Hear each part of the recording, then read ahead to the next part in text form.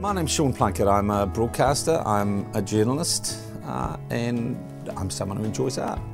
I can remember Mum used to take us often to the old museum, which was in Buckle Street uh, in Wellington, and also it had the National Gallery there, and they used to hang a significant amount of work, including a number of fantastic Toss Woollastons. And I can remember the age of eight or nine just thinking they were superb pictures uh, is what my mind thought of them as then, but uh, fantastic New Zealand landscapes. At primary school, I can remember visiting uh, Sam Hunt's place in Bottle Creek on the Pauatahanui Inlet.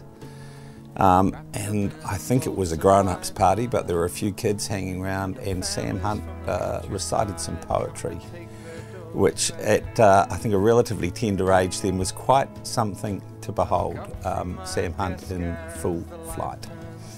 I don't have a favourite art form, and but I must admit I think New Zealand painting in particular is stunning, and I think good New Zealand theatre uh, is really special and unique to us. And I love uh, good New Zealand productions. Foreskin's Lament, I mean, old standards like that, and there's new stuff and new writing that's going on in New Zealand drama and theatre, which is exciting and specifically New Zealand.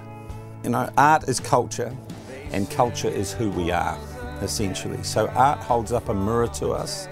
It might show us where we've been or where we've come from, and really good art can hint at where we're going. And it's a form of societal communication that creates our culture. Without art, we aren't really anything.